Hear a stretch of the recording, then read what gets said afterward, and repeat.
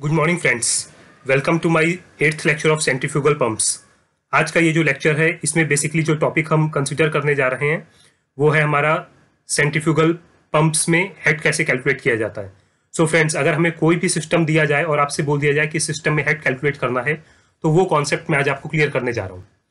ये interview point of view से बहुत ही इंपॉर्टेंट टॉपिक है बिकॉज़ ये आपसे हर एक इंटरव्यू में पूछा जाएगा। आपको कोई भी एक सेट का डायग्राम ड्रॉ करके दे दिया जाएगा कि यहाँ पे आपका रिसीविंग टैंक रखा है, यहाँ पे आपका मेन रिजर्वायर रखा है तो बताइए आप हेड कैसे कैलकुलेट करोगे? Even day to day working में भी ये टॉपिक काफ़ी इंपॉर्टेंट हो जाता है। सो so फ्रेंड्स अगर आपको मेरे लेक्चर्स अच्छे लगते हैं तो प्लीज़ मेरे चैनल को ज़रूर सब्सक्राइब कीजिएगा और जितना ज़्यादा हो सकता है, उतना ज़्यादा अपने फ्रेंड से शेयर कीजिए और लाइक कीजिए। सो फ्रेंड्स सबसे पहले मैं आपको बताता हूँ कि मैंने क्या सिस्टम कंसिडर किया हुआ है और उसमें मैं कैसे हेड कैलकुलेट करने वाला हूँ। सो so फ्रेंड्स ये देखिए, ये मेरा एक रिजर्वॉयर है जिसमें इस लेवल तक पानी भरा हुआ है। आप मेरे पॉइंटर को थोड़ा ध्यान से देखिएगा। ये मेरा सेंट्रीफ्यूगल पंप है। इस पंप की हेल्प से मेरे को इस रिजर्वायर से पानी को ट्रांसफ़र करना है इस रिसीविंग टैंक में। जो मेरा रिजर्वायर है, इस, ये रिजर्वायर मेरा एटमॉस्फेरिक प्रेशर पे है। सिमिलरली जो मेरा रिसीविंग टैंक है, वो भी मेरा एटमॉस्फेरिक प्रेशर पे है। सो so फ्रेंड्स मेरे को यहाँ पे हेड कैलकुलेट करना है तो ध्यान से देखिए। अगर मेरे को किसी भी सिस्टम के हेड कैलकुलेट करना है तो उसका फॉर्मूला होता है H total is equal to H S H S होता है मेरा static head of the system plus H D H D होता है मेरा dynamic head of the system plus pressure at the receiving tank यहाँ पे ये है मेरा pressure at the receiving tank atmospheric pressure minus pressure at the reservoir ये pressure at the reservoir जो मेरा इस केस में एटमोस्फेरिक प्रेशर है। सो so फ्रेंड्स अगर मैं अपने केस की बात करता हूँ तो मेरे केस में pressure at the receiving tank minus pressure at the reservoir की वैल्यू ज़ीरो होगी। बिकॉज़ मेरा रिसीविंग टैंक भी ओपन टू एटमोसफेयर है, जहाँ एटमोस्फेरिक प्रेशर लग रहा है, और रिजर्वायर भी है मेरा, वो भी ओपन टू एटमोसफेयर है। तो इसलिए मेरा ये जो पूरा का पूरा डिफरेंस है, ये मेरा ज़ीरो हो जाता है। बट फ्रेंड्स आपके केस में ये जो डिफरेंस है, हो सकता है ये आपके केस में ज़ीरो ना हो। हो सकता है यहाँ पे ये क्लोज वेसल और यहाँ पाँच के का प्रेशर लग रहा हो, और यहाँ पे एटमोस्फेरिक प्रेशर लग रहा हो। तो इन दैट केस ये वैल्यू आपकी ज़ीरो नहीं होगी। फ्रेंड्स दोबारा सुनिए, मेरे केस में ये वैल्यू ज़ीरो हो जाती है बट अगर आपके केस में कंडीशंस दूसरी हैं तो हो सकता है ये वैल्यू ज़ीरो ना हो। सो so फ्रेंड्स मेरे केस के लिए ये जो फॉर्मूला बसता है H total is equal to H static plus H dynamic because आगे का ये जो पूरा का पूरा फैक्टर है, ये पूरा फैक्टर मेरा ज़ीरो हो गया है। सो so फ्रेंड्स अब हम बात करते हैं स्टैटिक हेड की।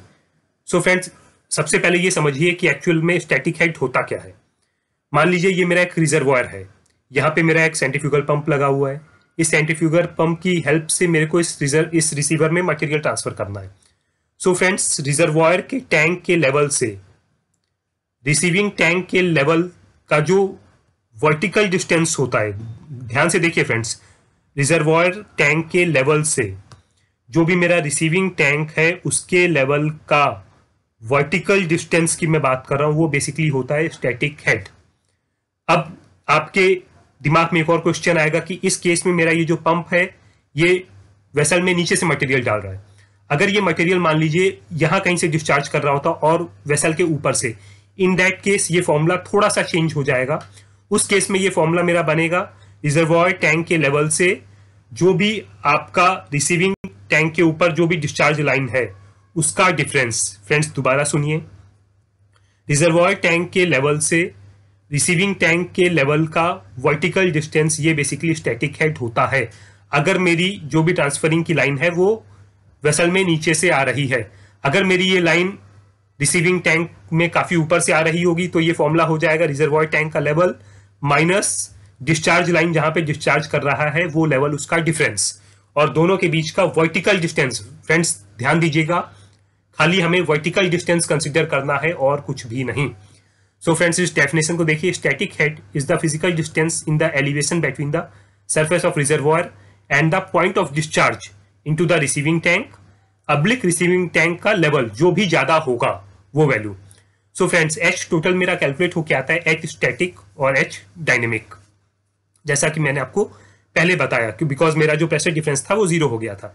अब फ्रेंड्स जो स्टैटिक हेड है, वो बेसिकली ये जो रिजर्वॉयर टैंक आप देख रहे हैं जैसे जैसे इससे मटेरियल ट्रांसफ़र होता रहेगा रिजर्वॉयल टैंक का लेवल मेरा डिक्रीज होता चला जाएगा।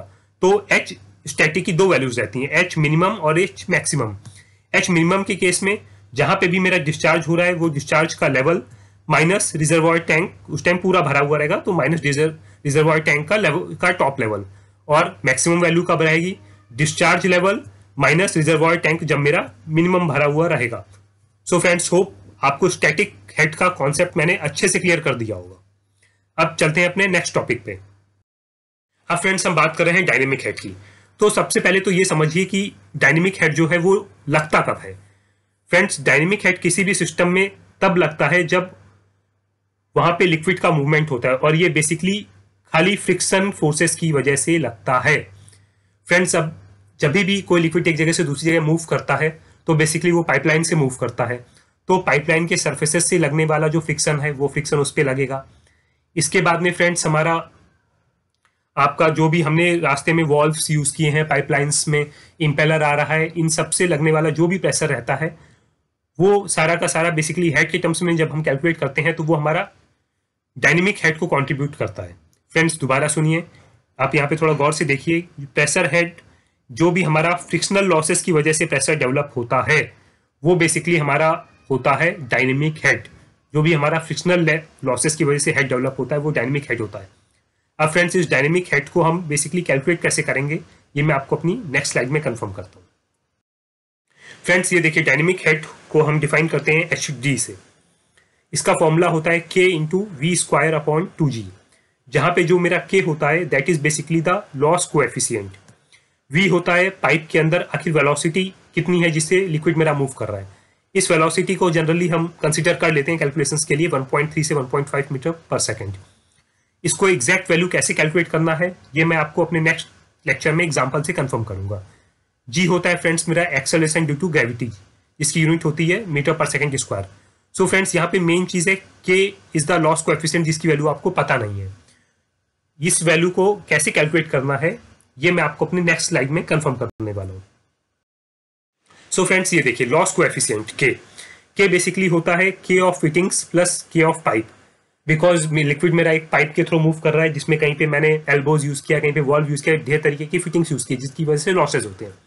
So friends K of fitting की वैल्यू आप डायरेक्टली गूगल पे सर्च करेंगे तो अलग अलग तरीके की फिटिंग्स के लिए ये के की वैल्यू क्या रहती है, वो आप डायरेक्टली कैलकुलेट कर सकते हैं। लाइक बॉल वॉल्व के लिए ये value zero point zero five है गेट वॉल्व के लिए ज़ीरो पॉइंट वन थ्री है प्लग वॉल्व के लिए ज़ीरो पॉइंट टू नाइन है। तो ये वैल्यूज़ आपको रेडीमेड वैल्यूज़ आपको गूगल पे इजिली अवेलेबल है। आप वहाँ से ये वैल्यू उठा के डायरेक्टली के फिटिंग की वैल्यू रख सकते हैं। अब फ्रेंड्स के ऑफ़ पाइप की वैल्यू आप कैसे कैलकुलेट करेंगे?